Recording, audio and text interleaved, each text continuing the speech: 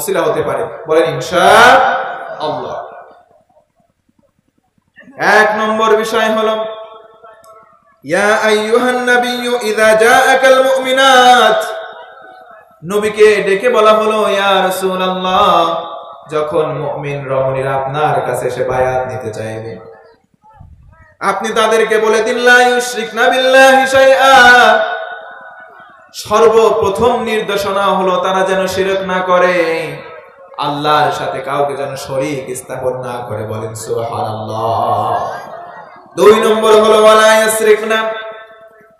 দুই নম্বর বিষয় হলো, তারা যেন পকেট না মারে। পকেট না মারার কথা এখানে নাই, তারা যেন চুরি না করে। আমার অনেক মা বোনেরা আছে, স্বামীর পকেট মারে। কথা বলে ঠিক কিনা? আমরা হুজুর হয়েছে, আমাদেরও পকেট মাঝে মধ্যে মারা হয়। যেরকম সুবান সুবান আল্লাহ করতেছে নাউজুবিল্লাহ বলবেন না। মা বোনেরা অনেক স্বামীর পকেট মারে। এই পকেট মারা যাবে না। তবে হ্যাঁ অনেক কৃপণ স্বামী এমন আছে।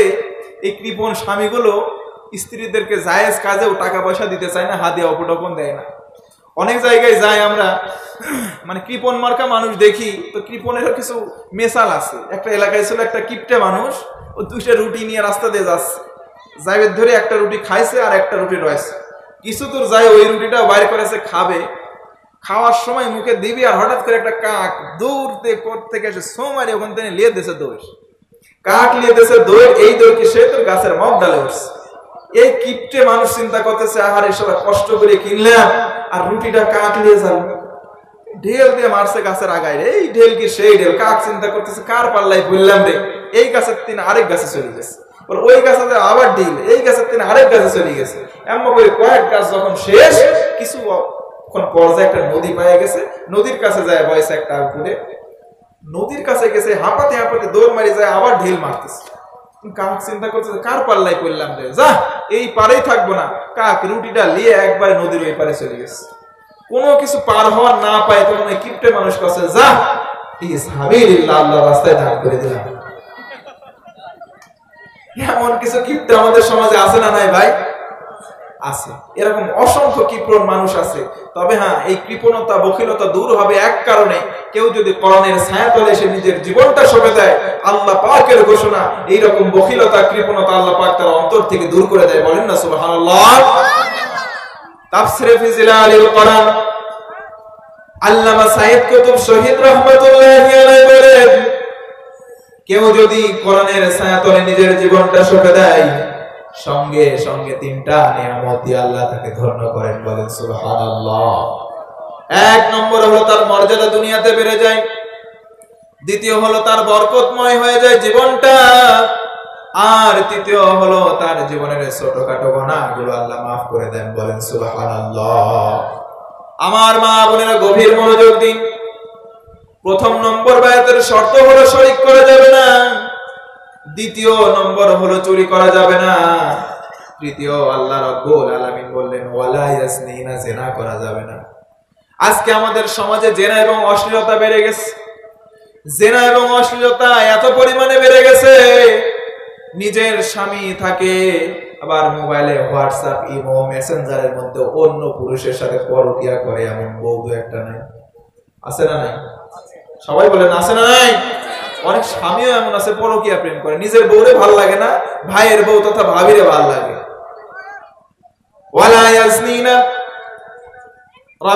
বলেন? ও ইমানদার রমণীরা, তোমরা শোনো। বিশ্ব নবীকে মাধ্যম করে বলে দিলেন, ওয়ালা ইয়াসনিনা জেনা করো না।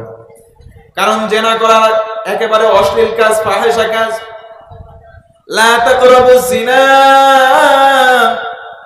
আল্লাহ ডেকে বললেন, তোমরা জেনার কাছেও যেও না। একটা কাজ হলো কর্মসূচির তিন নম্বর হলো, জেনা করা যাবে না। এরপরে হলো, তোমরা তোমাদের গর্ভের মধ্যে যে সন্তান আসে এই আবর্ষণের মাধ্যমে সন্তানগুলোকে হত্যা করো না। অনেক মা বোনেরা এমন রয়েছে। পেটের মধ্যে সন্তান হয়ে যায় কনসেপ্ট করার পরেও হত্যা করে। এই হত্যা করাটা হলো হারাম। মানুষকে হত্যা করলে যে গোনা হয়, গর্বের সন্তানকেও হত্যা করলেও সম পরিমাণ করা হয় বলেন না অনেক মা বোনেরা আজকে এই কাজ শুরু করে দিয়েছে। পেটের মধ্যে সন্তান আসে, সেই সন্তানকে পর্যন্ত হত্যা করে। তার মানে সে একজন কাতাল হত্যাকারী। কাল কেমতের দিন ওই মুসিবতের সময় ওই মা বোনদেরকে হত্যাকারীর কাতারে যিনি তুলবেন, তিনি কে? আল্লাহ। অতএব সাবধান হয়ে যান। মা বোনেরা যারা এসেছেন, সাবধান হয়ে যান। হত্যা করা যাবে না। এরপরে রব্বে কারিম বলেন অবশ্যই অবশ্যই সাবধানতা অবলম্বন করো। তোমরা একের কথা অপরের কাছে লাগিও না, অপবাদ দিও না। গিবত করো না, অপবাদ দিও না। গিবত হচ্ছে একজনের বিপক্ষে এমন কথা বলা, অপর ব্যক্তির ভিতরে ওই দোষটা আছে, তার অগচরে অন্যের কাছে বলার নাম গিবত। কিন্তু বুহতান হলো ভিন্ন বিষয়। অপর একটি বিষয়ের নাম হলো বুহতান। যে অপরাধ একজন করে নাই ওই অপরাধ সে করেছে বলে বলা, এর নাম হলো বুহতান বা অপবাদ। আমি একটা অপরাধ করি নাই। আপনি যদি আমাকে বলেন, আপনি ওই অপরাধ করেছেন এটা হচ্ছে বুহতান বা অপবাদ। আমি একটা অপরাধ করেছি, আপনি যদি ওই অপরাধের কথাই বলেন, কিন্তু আমার সামনে না বলে আমার অবসরে বলেন, এটার নাম গিব কথা বোঝা যায় ভাই? আমি একটা অপরাধ করেছি, এই অপরাধটা আপনি বলে বেড়াচ্ছেন, তবে আমার অগোচরে। এর নাম হচ্ছে গিব আমি একটা অপরাধ করি নাই। আপনি বলছেন, না, এই অপরাধ অমুক করেছে। এর নাম হচ্ছে বুহতান বা অপবাদ। আল্লাহ পাকের নবী কি আল্লাহ পাক আদেশ করলেন? রমণীদেরকে বলুন, তারা এই কর্মে বায়াত হোক, তারা যেন এই অপবাদ দেওয়া থেকে দূরে থাকে। বলেন না, সুবহানাল্লাহ। এরপরে আল্লাহ পাক বললেন, অবশ্যই তোমরা সৎ কাজের আদেশ দেবে আর অসৎ কাজ থেকে প্রতিটা মানুষকে বিরত রাখার চেষ্টা করবে। যদি এই কাজ করতে পারো, তবে অবশ্যই আল্লাহর নবীকে বলা হলো, আপনি তাদের জন্য ইস্তেগফার করুন। আমি আল্লাহ বলছি, তাদেরকে আমি ক্ষমা করে দেবো। চিৎকার করে বলেন, সুবহানাল্লাহ। আর জোরে বলতে হবে, সুবহানাল্লাহ। আল্লাহ আল্লাহ পাক রব্বুল আলামিন আমাদের মা বোনদেরকে, আয়েশা, ফাতিমা, খাদিজা, তাদের কাতারে কবুল করুন। আমরা চিৎকার করে পড়ি, আমিন। আরও জোরে ছড়ে পড়ি না আমিন। সম্মানিত ভাইয়েরা, যা কিছু বললাম, যতটুকুন বললাম, কোরআন, সুন্নাহর আলোকে বলার চেষ্টা করেছি। এরপরেও তো মানুষ ইচ্ছায়, অনিচ্ছায় কিছু ভুল কথা বের হতে পারে, ভুল ইনফরমেশন রব্বে কারিম আল্লাহর কাছে এই জন্য ক্ষমা চেয়ে নিচ্ছি আল্লাহ, যদি কোনো ভুল কথা বের হয়ে থাকে, তাহলে আমাদের জবান থেকে মনো মস্তিষ্ক থেকে সেটা মুছে দাও। সঠিক যে আমলগুলো আমরা বললাম এবং শুনলাম, সবাইকে সেই আমলগুলো বাস্তবায়ন করার তৌফিক দিয়ে দাও। আমরা সকলে বলি আল্লাহ আমিন। আরও জোরে বলুন আল্লাহ আমিন। আপনারা কি বেজার হলেন? বেজার হলেন? আল্লাহ যদি তৌফিক দেয়, আমরা সবাই একসাথে জান্নাতে যেতে চাই। বলেন আল্লাহ। একটা হাদিস বলে শেষ করব। আল্লাহর নবী একদিন বসে আছেন। সামনে বসা ছিলেন কয়েকজন সাহাবি। একজন সাহাবি বাহির থেকে আসলেন। এসে বললেন, ইয়া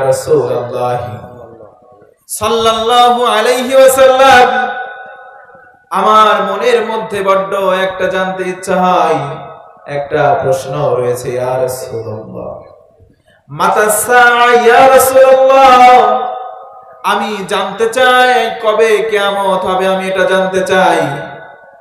নবীজি বললেন, মা ইস্তাহাদাতুলাহা ও আমার সাহাবি কেমতের কথা তুমি জানতে চেয়েছো, ভালো। কিন্তু কিয়ামতের জন্য কেমন প্রস্তুতি তুমি নিয়েছো বলো সাহাবি বললেন, লা আদাতুলাহা ইয়া রাসূলুল্লাহ। আমি তেমন কোনো প্রিপারেশন নিতে পারি নাই। তেমন কোনো প্রস্তুতি নিতে পারি নাই। কামতের কথা জিজ্ঞেস করেছ সাহাবি তো বড্ড কঠিন একটা বিষয়।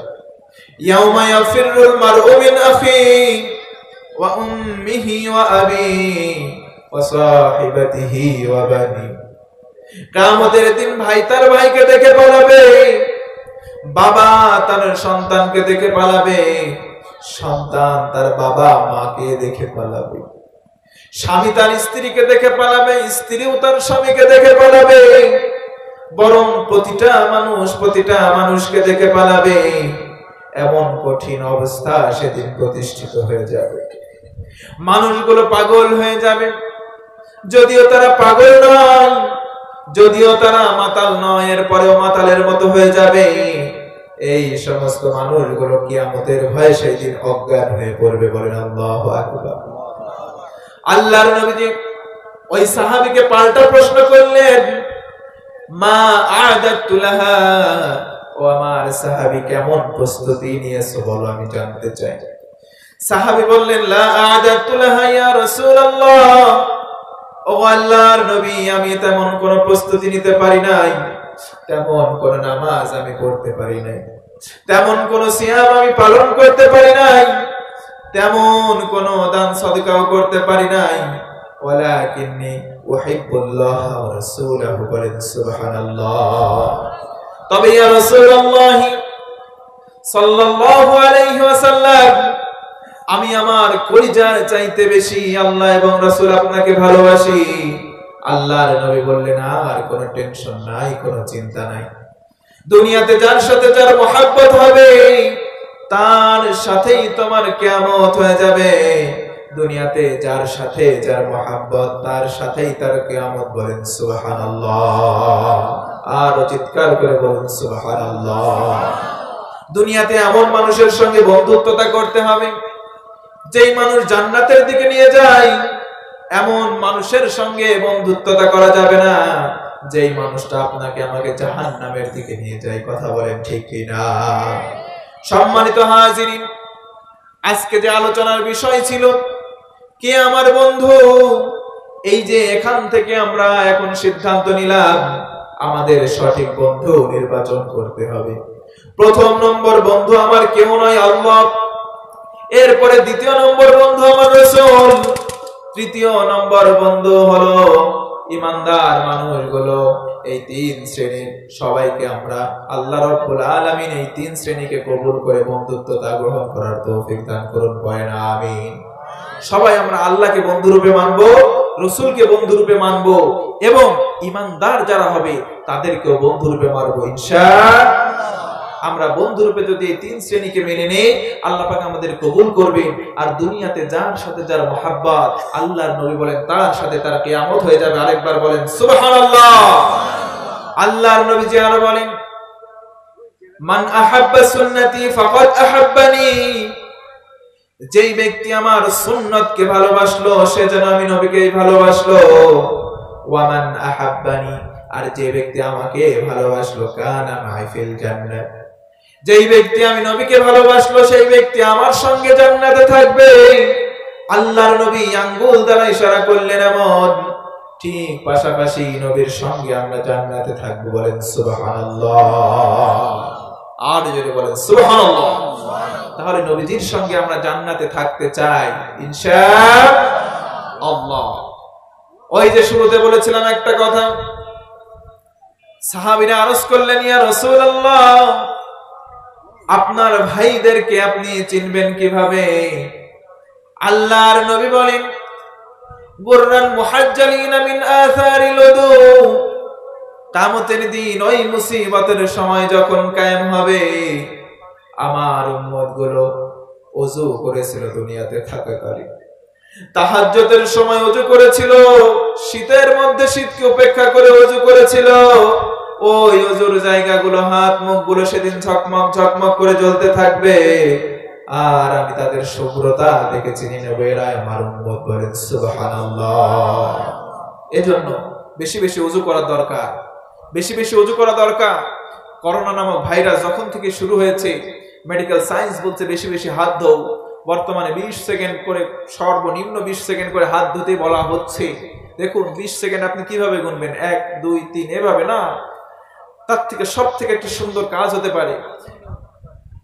যখনই উজু করতে যাবেন বা এমনি হাত ধুতে যাবেন আউজুবিল্লাহ বিসমিল্লা সহ সুরা ফাতিয়া পড়বেন দেখবেন বিশ সেকেন্ড এমনি হয়ে গেছে। সুবহানাল্লাহ বলবেন না? নেকিও হবে আমার হাত ধোয়া হয়ে যাবে। আর কোন মুসলমান যদি পাঁচবার নামাজের আগে পাঁচবার উজু করে, তার হাত মুখ সবগুলো ধোয়া হয়ে যায়। এর মাধ্যমে আল্লাহ পাক তাকে নাজাসাত থেকে মুক্ত করে তহরত দান করে আর এই তহরতের বদৌলতে তার মধ্যে করোনা নামক ভাইরাস আসতে পারে না। আল্লাহ কবুল করুন করে না আমি উৎপবিত্র থাকতে চাই, এটা ইমানের একটা অঙ্গ।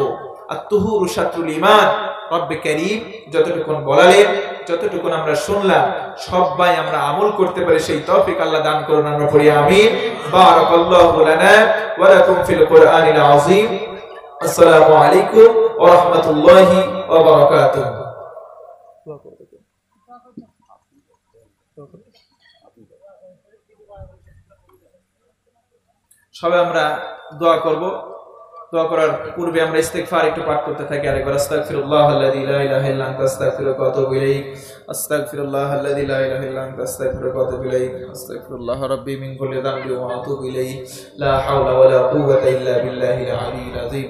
আস্তাগফিরুল্লাহ রাব্বি মিন কুল্লি যামবি ওয়া আতুবু লা হাওলা ওয়া লা কুওয়াতা ইল্লা বিল্লাহিল আলিয়্যিল আযীম। অনেক সময় বিভিন্ন জন এসে ভিড় করেন যে নাম্বার দেন, এই দেন। আমার তো এই এখানকার নাম্বারগুলো পারমানেন্ট না। আমার একটা নাম্বার আছে, সেটা হোয়াটসঅ্যাপ আপনারা ব্যবহার যদি করেন, নাম্বারটা তুলে নেন। আমার দেশের কোড দিবেন plus eight eight plus eight eight তারপরে zero one seven four four three three eight two nine zero plus eight eight zero one seven double four double three eight two nine zero আল্লাহ আমিন آمين آمين ثم آمين ربنا ظلمنا أنفسنا وإن لم تغفر لنا وترحمنا لنكونن من الخاسرين ربنا آتنا في الدنيا حسنة وفي الآخرة حسنة وقنا عذاب النار. رب ارحمهما كما ربياني صغيرا. وقل رب ارحمهما كما ربياني صغيرا.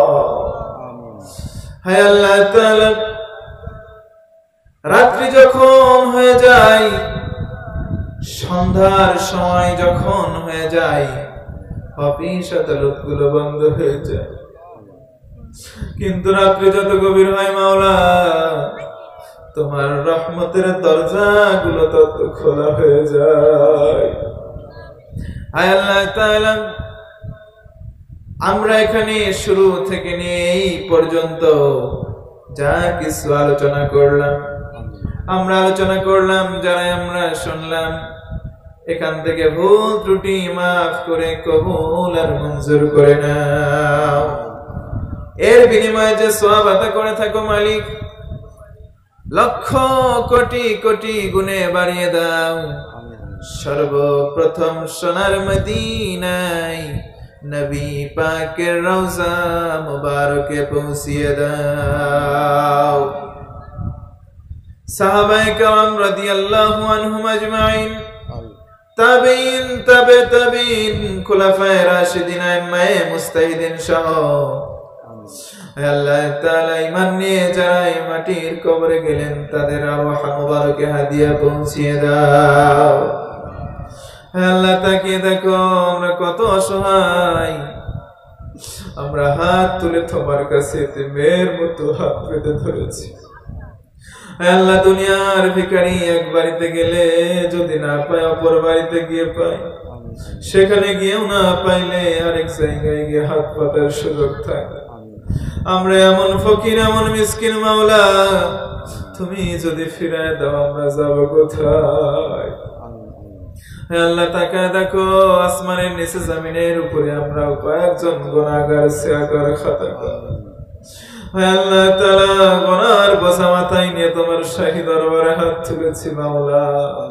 আমাদের জীবনের সমস্ত নেকগুলো তুমি কবুল করে নাও। নেক আমলকে ওসিলা করে মাওলা, আমাদের জিন্দগির তামাম গুনাহ খাতাগুলো মাফ করে দাও। হে আল্লাহ, যারা হাত তুলে আমিন আমিন করছি মাওলা, প্রত্যেকের মনের নেক মাকাসাদগুলো পুরা করে দাও। হাত তুলেছি আল্লাহ চুল পাকা দাড়ি পাকা মুরব্বিয়ানে আইজাম অনেক যুবক ভাইরা হাত তুলেছে আল্লাহ। অনেক কচি কাচারা হাত তুলেছে। পর্দার অন্তরালে মা বোনেরা হাত তুলেছে মানি। আমি গোনাহগার।